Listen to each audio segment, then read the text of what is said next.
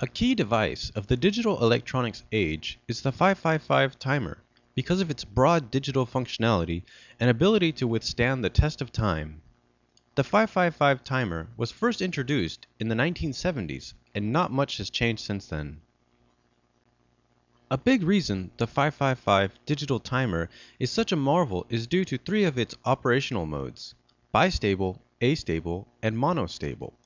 Each of these modes allows you to easily create an output signal that is some variation of this classic digital clock signal.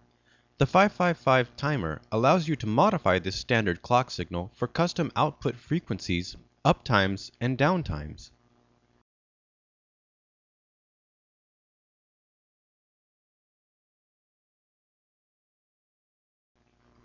Before we experiment with the 555 timer, it's important to understand the reason for needing this 555 timer. Device similar to the 555 timer is a standard astable multivibrator circuit, which is a circuit that transitions back and forth between two states, similar to how digital electronics transition between 0 and 1. To build this circuit, from the parts kit we will need a breadboard, plus 9 volt connector, a 9 volt battery, two 2N3904 NPN transistors, two red LEDs, two 1 microfarad capacitors, some jumper wire from the wire kit, two 1 mega ohm resistors, and two 470 ohm resistors. This circuit is fairly complicated, so please follow the circuit diagram on the screen if the video moves too quickly. First, the breadboard power and ground bus lines are connected to both sides of the breadboard. Next, the two 2N3904 NPN transistors are added to the breadboard. Two wires are connected to the base pin of each transistor. Two capacitors connect from that wire to the collector pin of the NPN transistors. Next, the emitter pin of the transistor is connected directly to ground. Now, the 470 ohm resistor is connected to the collector pin of each transistor. Two LEDs connect that 470 ohm resistor to plus 9 volt power. Finally, the two 1 mega ohm resistors connect from the transistor's base pin to the plus 9 volt power. When you power on the circuit, one LED will turn on and the other will be off. Then they'll switch states again and again back and forth.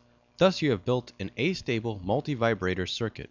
Let's test one thing about this circuit to give you an idea for how to control the speed of the LED flashing. Change the capacitors to a larger 100 microfarad value. Now you will see that both LEDs flash more slowly than before.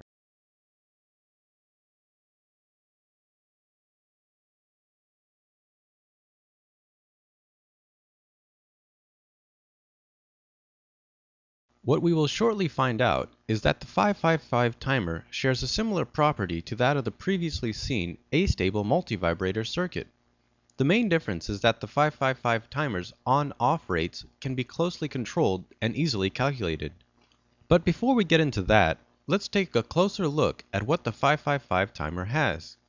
Every 555 timer has 8 pins, and each of those pins has a specific purpose aside from standard power and ground input there's the trigger, output, reset, discharge, threshold, and control voltage pin. For a quick crash course in the 555 timer, the most important pins for what we'll be looking at are the trigger, output, and reset pins.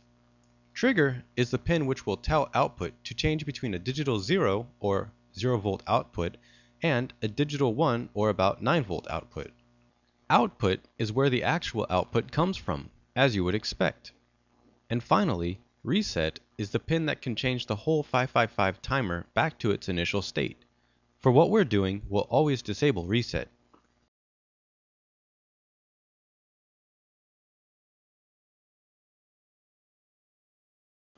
Now, let's use the 555 timer to build an astable multivibrator.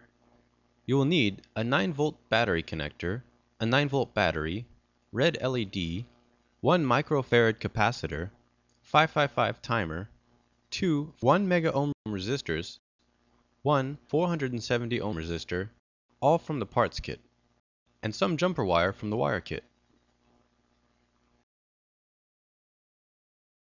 Here is a schematic of the circuit we are going to build. Refer back to it if the video moves too quickly. First, we'll place the 555 timer in the middle of the breadboard. Next, we'll connect pin 2 and pin 6 together. Now, we'll connect pin 1 to ground. With some yellow wires, we'll connect pin 4 and pin 8 to plus 9 volt power. Next, we'll connect a 1 mega ohm resistor from plus 9 volt power to pin 7 of the 555 timer. The other 1 mega ohm resistor connects from pin 7 to pin 6. The 1 microfarad capacitor connects to pin 2 of the 555 timer and the other side to ground. Lastly, a 470 ohm resistor and LED are connected to the 555 timer's output at pin 3. And now, when you power the circuit up, the LED will start blinking right away at a common interval.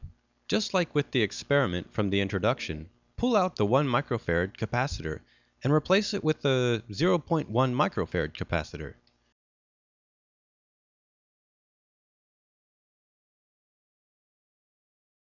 Notice that now the LED blinks much faster. This is happening because a capacitor's value will determine how long it takes to charge with electricity, much like how long it takes water to fill a small bucket compared to a very large bucket.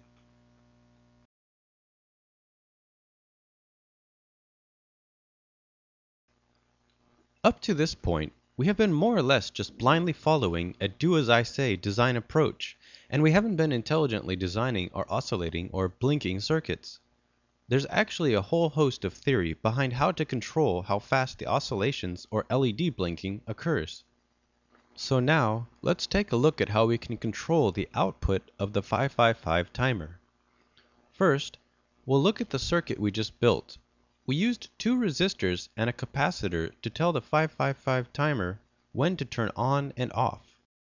The three parameters we can closely control are called frequency, which is how many times per second the output turns off and on, the on time, which is the length of time the signal stays at digital 1 during one period, and the off time, the length of time the output stays at digital 0 during one period.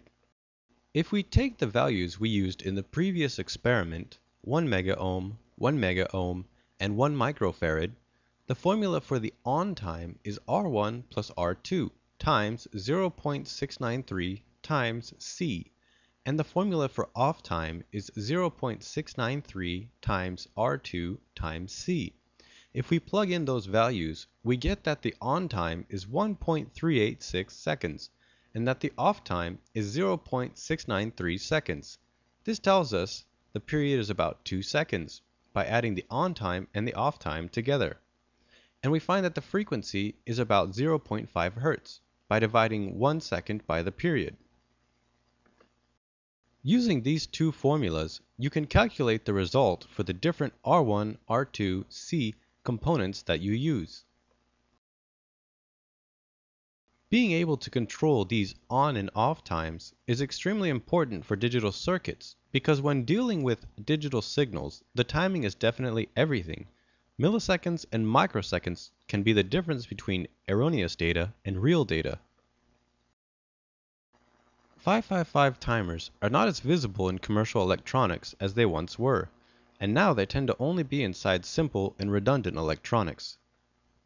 Some uses of the 555 timer are as one-shots or as simple clock generators for digital logic ICs. Here are a few examples of projects where precise digital timing was used.